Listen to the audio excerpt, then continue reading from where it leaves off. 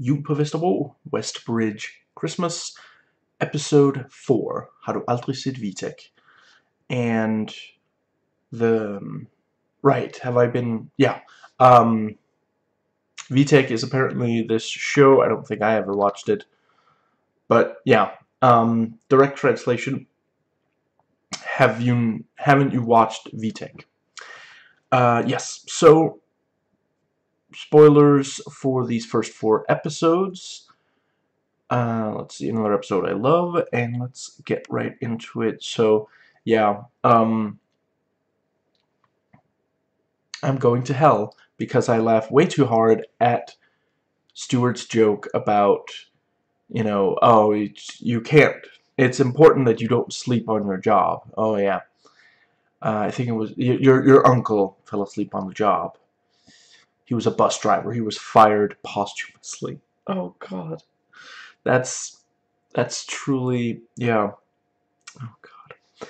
Um, let's see, and yeah, we have one of Stewart's many jokes about pedophilia, and yeah, so the because the Kefir and the other Muslims have apparently lost some parts.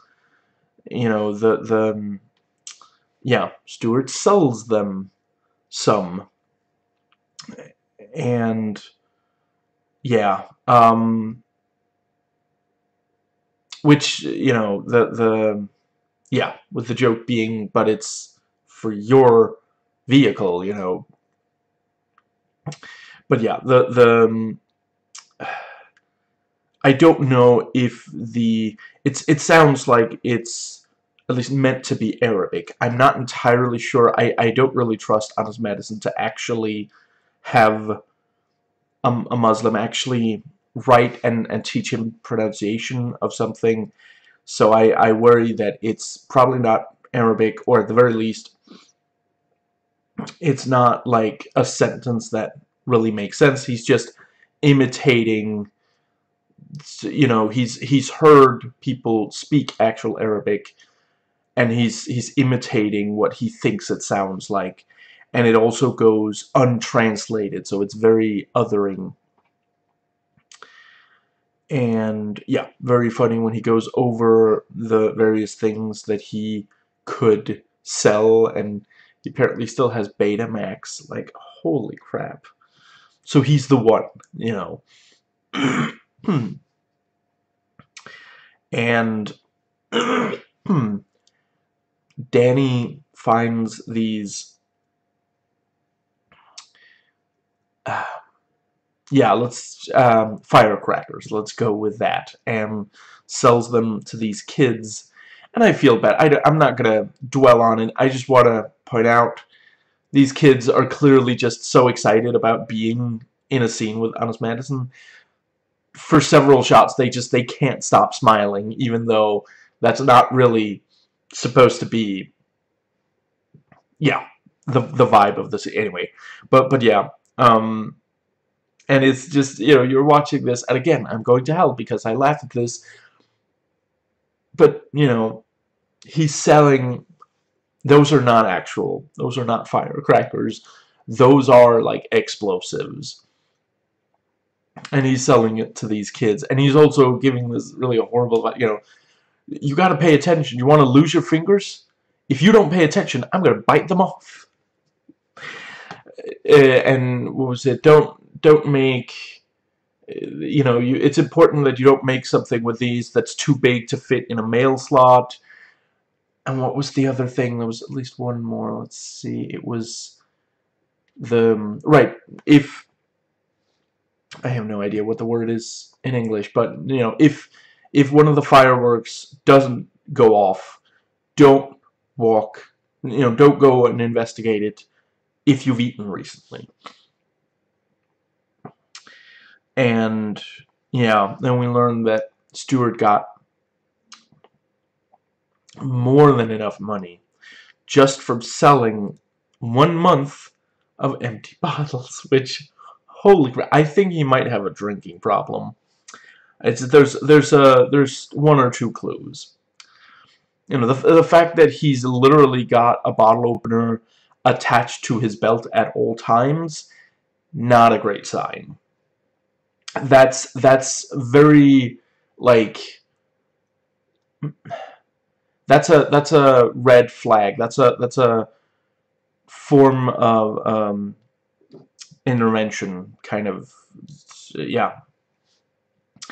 And then we have this really misogynistic joke about Randi you know, taking the the money, this this idea that women intentionally uh, trick a man into impregnating them just so they'll have, you know,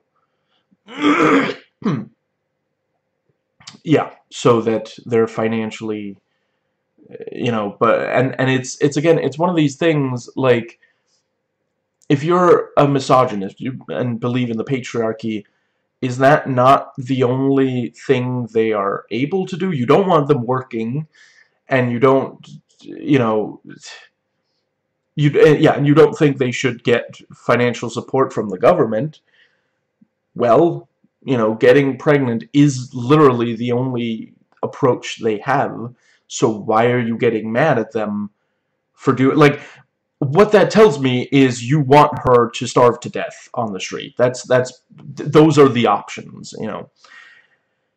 Uh, let's see, and and like most bigotry, it you know, it largely is not true. There might be a statistically insignificant number of people out there, but you know, again, just like have you met a woman? Like the the, the vast majority of them they're not looking to to trap people. They want for the you know not all of them want children but those who do by and large want their children to have a happy childhood. They don't want yeah anyway um let's see. Then we have the yeah and this is this is the in in I think it was episode three. They they talk about ah, could she really be pregnant already?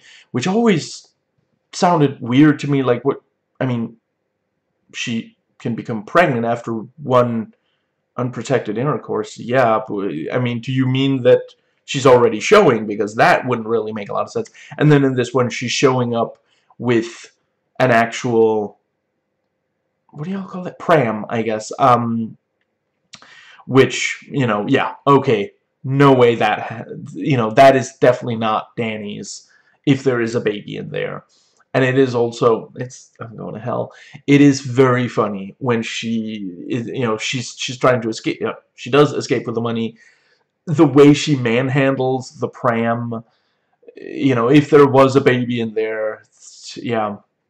Also good detail that, I forget, I'm not sure it's every single time, but a lot of times on the show, when the door opens to, to the, the hall, there's this distant sound of a baby crying, which is just, oh my god, you know, like, the, the fact that it's nearly every time is, is deeply disturbing. Let's see, but, but yeah, you know, it is, the handling of the joke is kind of funny. This thing of, you know, Stewart's sitting there counting the money, puts it down, and she just, she bolts past Danny, grabs the money, and very slowly gets away. Like, how do they not manage to stop her? Just, yeah. And the speaker at the end, you know, brings up Vitek, which Danny mentioned earlier, and you know yeah the speaker as like it's it's this thing of like oh I you know okay he just he got distracted by because it's like why did they stop why did they stop showing Vitek you know? Which is like that has nothing to do with the events of the of the show you know? And Danny like it's very broken clock. Occasionally Danny is right about something. Apparently I looked it up on Wikipedia which is also where I found the definition of a lazy farmer from Aztec. The the apparently yeah the the guy who hosted Vitek, Egon Schmidt, he died in 1999, so before 2003 when this episode aired, and he's apparently before hosting this and it does say science program. Before that, he was a, a public school teacher. So, yeah, makes a lot of sense that he would go on to host a a science show. But yeah, you know, and and yeah, Dan Danny hears speaker say that, and he's like, "Oh, I, I think the guy died," and and speaker's like, "He didn't die, did he?" And and Danny's like, "I, I don't know," you know, which that's that's a just that's a regular conversation you know suddenly they are having you know it's it's short-lived but that is an actual you know someone will ask at the water cooler why did they stop airing that show? Someone else but I, I think the guy died. And the other be he didn't die did he? And and the, the other guy's like oh I'm, I'm sorry I didn't I I you know I I it's I thought you knew. No I'm I, maybe he didn't die you know just it's I just I love this blurring of the line, this kind of meta thing of just yeah, suddenly they're just having a conversation with the speaker, even though the you know like the completely non-meta thing. And and I honestly, it's been so many years since I watched other Christmas calendar, Advent calendars than this one, really. But I think maybe they used to just not be able to hear the voice. Like the episode would actually end and the characters would just maybe just be looked like you know oh how are we going to deal with this and then the speaker would would say and and no one would react to the speaker because the speaker is there for the audience's benefit it's part of the you know uh, it's not diegetic so but but yeah this it's it's just it's very funny. Um, yes, that is it for this one. I will try to do one tomorrow. So, hope to catch you then.